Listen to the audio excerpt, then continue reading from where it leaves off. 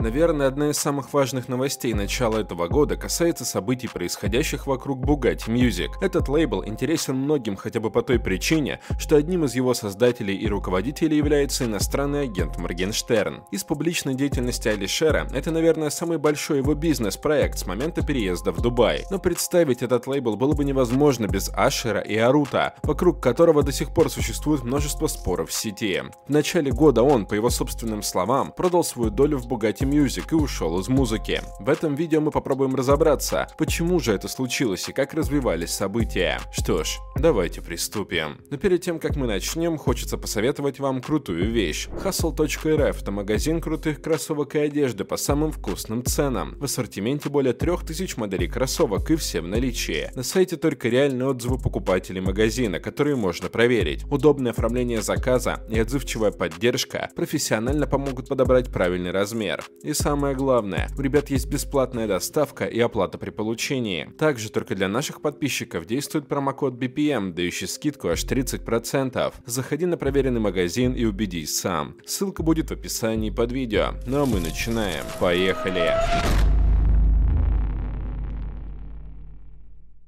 На этом мои музыкальные приключения заканчиваются. В этом году еще будут выходить треки, которые были записаны в 22 и 23 году. Я наигрался. Это были великолепные два года, и лучшее хобби придумать невозможно. Спасибо Палагину за саунд, спасибо Романову за лучшие в мире клипы, спасибо Моргенштерну за опыт и хайп. Именно так описал свой уход из музыки Арут. Моргенштерн чуть позже также попрощался с ним в своих социальных сетях. Арут появился в музыкальной индустрии очень внезапно. Конечно, его постоянно замечали рядом с Моргенштерном, популярным еще два года назад. Он появлялся в сторис, на фотографиях и даже в видеоблогах. Особо никто не знал, кто он такой, пока одна за одной не начали появляться коллаборации с рэперами. Первым был Big Baby Tape, которому за фит, по словам Арута, он заплатил 10 биткоинов. Что я дам твоей шалаве? Вода. Довольно давно мы делали видео про Арута, где предметно разбирали его биографию, которая тогда была доступна обрывочно в различных СМИ из СНГ. Было известно, что он родом из Узбекистана. Он занимался проведением вечеринок, какое-то время жил в Питере. По его словам, в России он организовал один из своих первых бизнесов по ритейлу айфонов. Потом он вернулся на родину, где работал в ресторанном бизнесе. В Дубай переехал после женитьбы, и уже в Дубае он начал работать в диджитал-сфере, что в дальнейшем привело его в криптоинвестиции. Ну а дальнейшая история с Моргенштерном была уже у всех на виду. Так мало? Считай.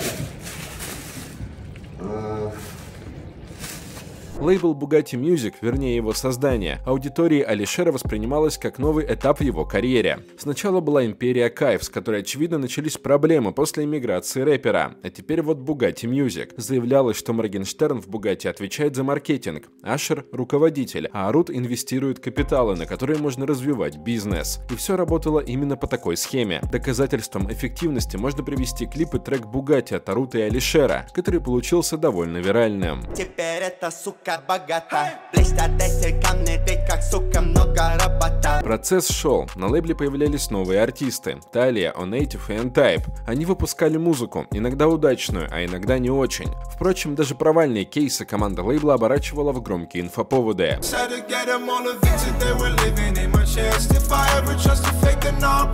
но постепенно, к концу прошлого года, начало всплывать все больше информации об Аруте. И тут, на наш взгляд, и есть причина или одна из причин, почему он мог продать долю в своем бизнесе. В сети начали появляться разоблачения Арута. Сперва про него и на агент Оксимирон в Дисе на Моргенштерна зачитал вот такие строчки. «Твои новые близкие и недалекие». Чуть позже, возможно уцепившись за этот панч, про окружение Моргенштерна в негативном свете начала рассуждать и Ксения Собчак. Прямо на интервью с рэпером.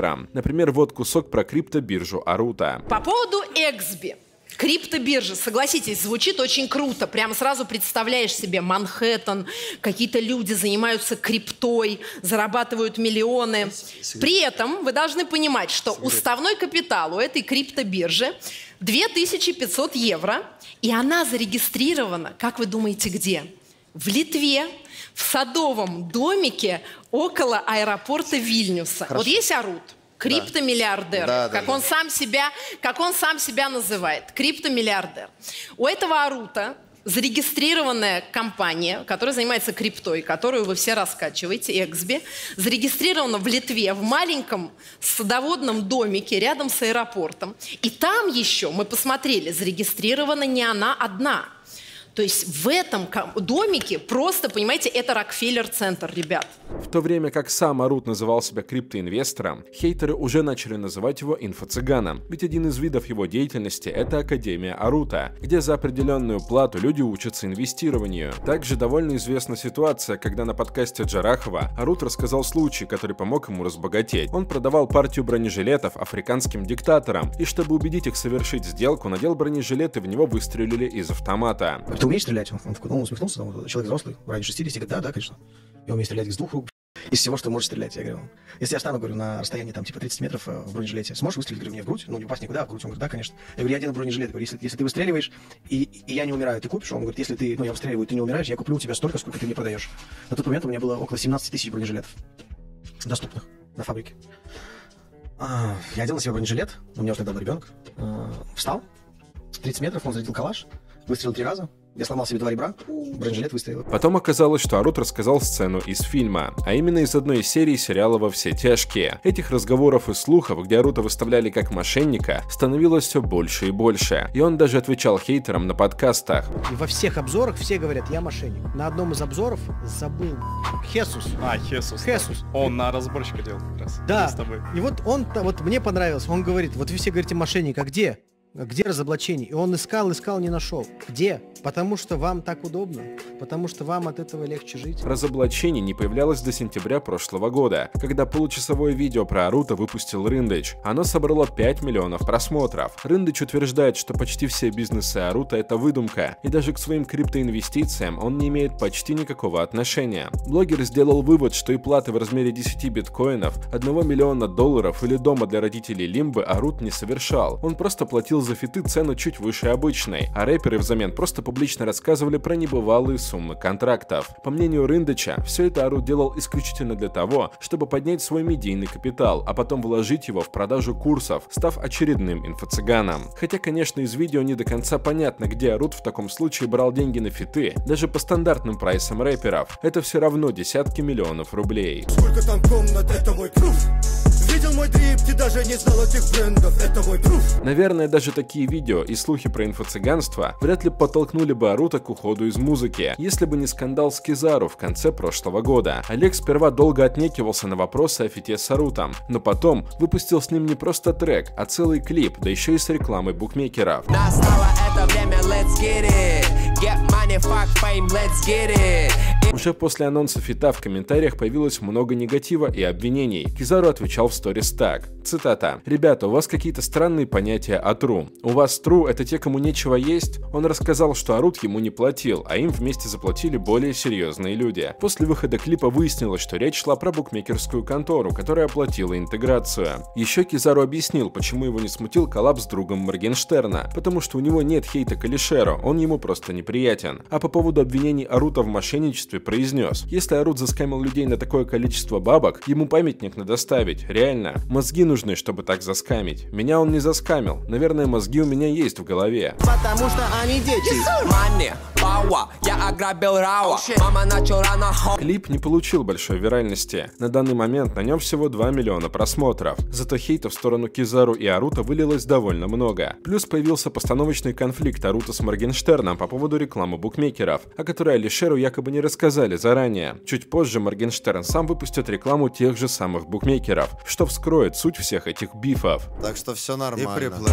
Раньше был на дне, а теперь богат. В своем обращении по поводу ухода из музыки Арут написал, что снова хочет сфокусироваться на крипте. Возможно, это такой своеобразный антикриз и способ доказать всем, что он на самом деле не мошенник. Так или иначе, образ инфо-цыгана Аруту уже создали, и ему, видимо, пришлось что-то с этим делать. Ну а в наших комментариях люди написали, что вполне может быть, Арут продал свою долю в Бугати Тимати или, например, Кизару, что вообще маловероятно. Нам кажется, что вполне возможен вариант у Мида Юлдашева, про которого так много рассуждала Ксения Собчак. Не Забудем о любви, если ночью в ноль-ноль у тебя гаснет свет А на сегодня у нас все. А как думаете вы, почему все-таки Арут продал свою долю в Bugatti Music? Пишите свое мнение в комментарии, ставьте лайки и подписывайтесь на канал. Всем пока!